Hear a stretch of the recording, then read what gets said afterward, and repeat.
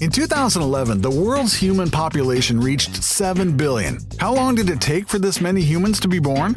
Well, humans reproduce at a rate of around 0.4%, sometimes spiking as high as 2% or as low as 0.1%. If we calculate backward using only 0.1%, then it would only take 7,062 years to reach today's population.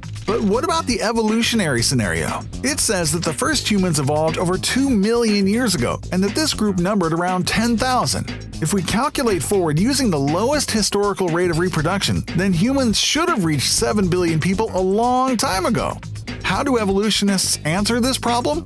They claim that the early human population had virtually no population growth for over 2.4 million years. Supposedly, the lack of agriculture slowed down mankind's reproduction. But let's think about that for a minute. Humans have always used agriculture. The earliest human remains and writings show evidence of agriculture.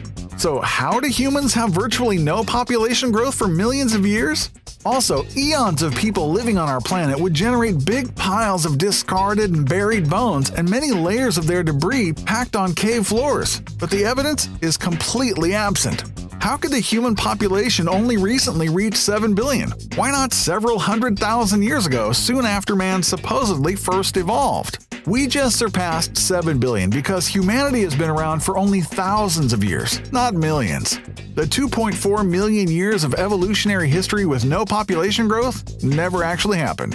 The current world population precisely aligns with biblical history. No added stories needed.